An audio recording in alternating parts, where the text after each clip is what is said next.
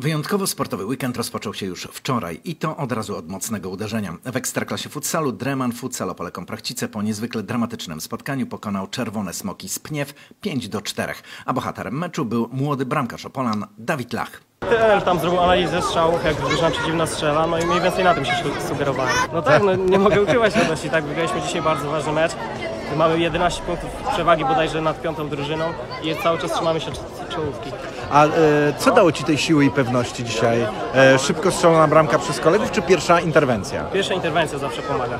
Dziś z kolei danie główne, czyli KPR Gwardia Opole kontra wicemistrz Polski Orlen Wisła Płock w PGNiG Superlidze Piłkarzy Ręcznych. Skoro o jedzeniu mowa, to co zatem zjada przed meczem kapitan naszego zespołu Mateusz Jankowski? Znaczy ja zawsze jem przed meczem domowym spaghetti, mi to jakoś służy.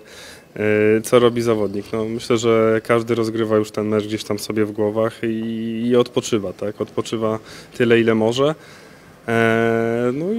Chcę jak najbardziej, najlepiej się do tego, do tego spotkania przygotować. No to już nic się w kwestii fizycznej nie da zmienić, zostaje tylko mental. A jaka jest recepta na pokonanie groźnego rywala? Dużo analizowaliśmy przeciwnika przed dzisiejszym spotkaniem. Wiemy, co, co zespół e, z Polska prezentuje. Myślę, że najważniejsze będzie powstrzymać e, atak rywali i jeżeli uda nam się zdetronizować ich poczynania w ataku, to będziemy mieli atuty we własnych rękach. Początek tego spotkania dziś w Stegu Arenie o 19. W trakcie meczu gwardzistów poznamy wynik końcowy przed ostatniego meczu rundy jesiennej w pierwszej lidze piłki nożnej. W Rzeszowie bowiem Odra Opole gra od 17.30 z Resowią. Skoro o futbolu mowa, to w sobotę o 13.30 swoje mecze na własnych boiskach rozegrają w czwartej lidze rezerwy Odry z Wiktorią Chruścice, a w klasie A Groszmal Opole z Wiktorią, ale z Żyrowej. Na wyjeździe w Lipkach z tamtejszą burzą zmierzy się nasz LZS Sławice. Na deser siatkówka i koszykówka. W Tauron Lidze siatkarek Beniaminek Unii Opole podejmie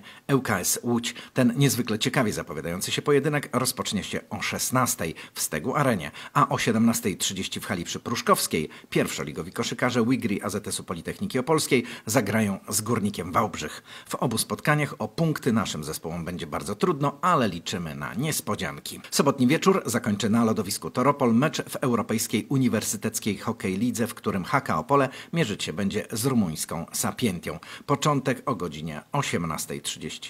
A w niedzielę podwodna ciekawostka, czyli trzecie amatorskie mistrzostwa w nurkowaniu sprawnościowym. Zawody z udziałem zawodników z całej Polski odbędą się na krytej pływalni Wodna Nuta. Ich początek w samo południe.